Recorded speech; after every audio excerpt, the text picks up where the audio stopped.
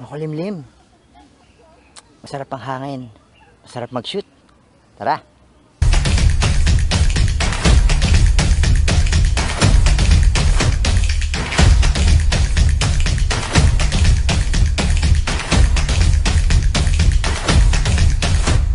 What's up mga ka-friendship and welcome back into our channel. Ito nga pala si Dia, inyong friendship na nagbibigay sa inyo ng mga practical tips, tricks, techniques on how you can create fantabulous and powerful photos, videos na pwede nyo i-post online at kung bago lamang kayo sa channel na ito, please consider subscribing. And today gagawa tayo ng quick shoot lang. Wala akong magawa sa bahay and uh, okay, just may mask ako so I just have a bike.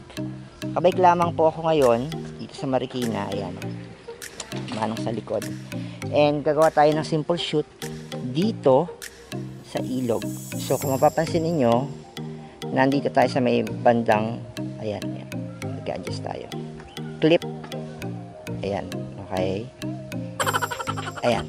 Nandito tayo sa may bandang clip. So gagawa tayo ng mga simple shoot lang using this clip kung ano yung pwede nating magawa na photoshoot. So, I hope samahan nyo ako kung ano yung pwede natin magawa. Amazing kaya?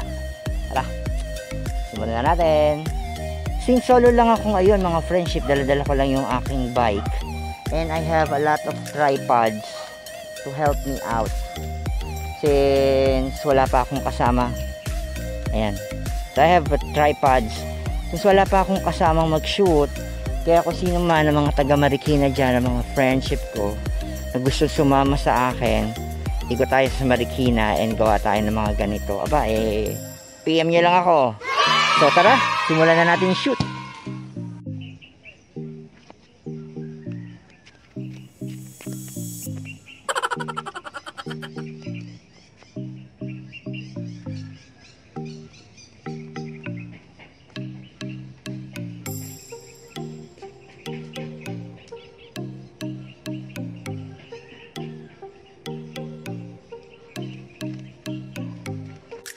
Let's start editing by searching sa Google yung Milky Way Strange.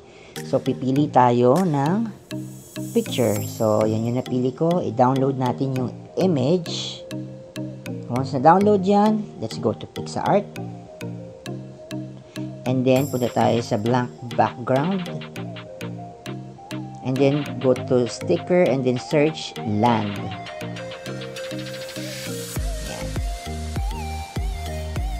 Once nakapili na kayo ng land, yan, i-reposition nyo na lang yan sa screen. There you go. And then after that, punta kayo ulit ng sticker and grass naman ang isi-search natin. So, pili tayo ng grass. And then once you have it, i-reposition nyo lang sa inyong land. And then you duplicate it. Duplicate nyo lang and then ilagay nyo naman dun sa kabila. I-reposition nyo na lang. Once you have it, go again to sticker and then maghanap ulit tayo ng ibang uri pa ng grass. So, gusto ko ito medyo mataas. Ayan. Ay, hindi pantay-pantay. Lagyan natin sa gilid. Duplicate ulit natin yung isa naman sa kabila. And then, balik ulit tayo sa sticker. Kuha ulit tayo ng ibang grass. There we go. So, yan, medyo mataas naman. Lagyan natin din ulit sa side. Duplicate ulit natin. Ilagay ulit natin sa side. Pero huwag natin gawing pantay para hindi mo masyadong symmetrical. And then, punta ulit tayo sa sticker. Mm, grass. Ayan, piliin ko yan. Parang flower na yan. So, ilagay ulit natin siya sa side para mas makita yung silhouette. Duplicate ulit natin. Again, wag natin ipantay, magkabila. Okay. So, save the photo. And then after that, i-grab na natin, mag-add tayo ng photo, yung ginawa nating shoot sa ilog. So, ito yung picture na ilalagay natin. Now, i-position natin siya doon sa pictures. So, ayos na natin siya. Ayan. So, pumunta tayo sa cut at pinaras natin yung person para automatic na yung system ang mag-cut sa kanya. Now, we'll just have to make some adjustment. Especially dun sa mga dapat may silhouette. Yan, yung pagitan ng braso at saka ng katawan. So, patience is a virtue mga friendship. Once na ginawaan ko ng paulit-ulit, definitely magiging magaling na kayo dito. I'm very, very sure of that. So, ayan, I'm a bit satisfied with it. So, dun sa bandang kamay, So, yung technique is yung mismo gitna na muna yung simulan mo and then go back dun sa mga area na dapat is kasama sa picture. So, yan, yung kamay. There you go. So, yan, pasobra. Ayan. And then, adjust. Brush out natin. Ayan. Now, nakita ko tong dulo ng shorts. Yan. Kailangan yung mga kanto mas kita because it's silhouette. So, sa pagitan naman ng mga hita, yan. Ayusin natin. There we go. Alright, sa paa. So, dun sa area na hindi na kinaya ng computer or ng app natin. Pati yung kabila. Alright, so, zoom out. Okay, so yung kamay. Sabihin na lang tayo dun sa ribbon na area ng kamay. Again, patience is a virtue, mga friendship. Alright, ayos na. And I'm satisfied with that. And then, let's click save. Alright, so i-position na natin siya. Yan. So, once we have that position, happy na ako dyan. Punta ulit tayo ng sticker at search natin yung black line. Once you have the black line, ayun. Kailangan makover niya yung buong picture, mga friendship. Yung mismong black na yan. Alright.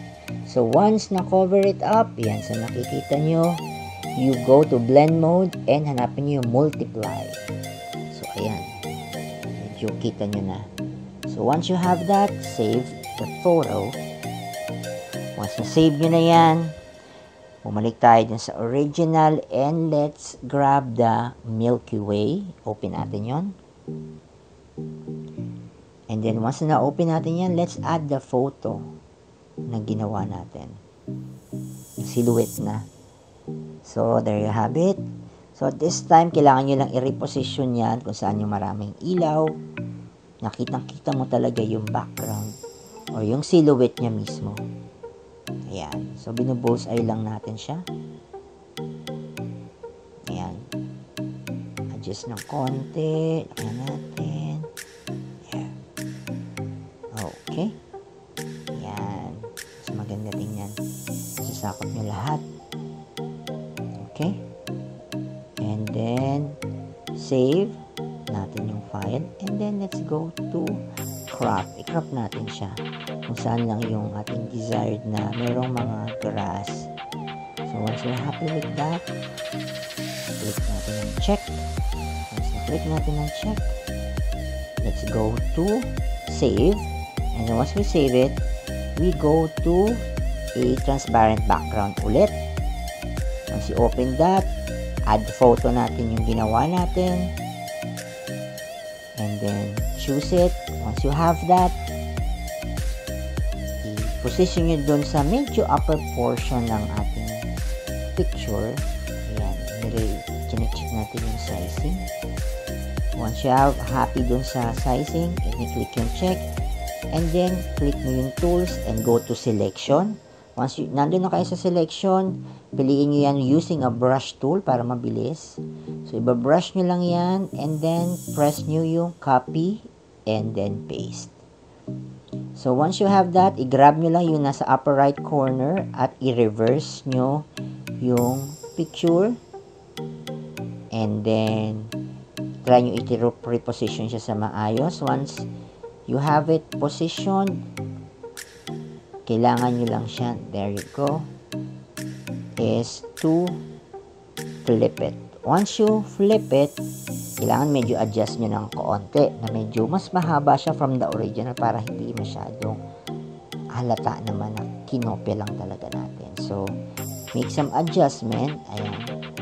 kung saan yung desired nyo na mas magiging maganda tingnan yung picture natin. Alright?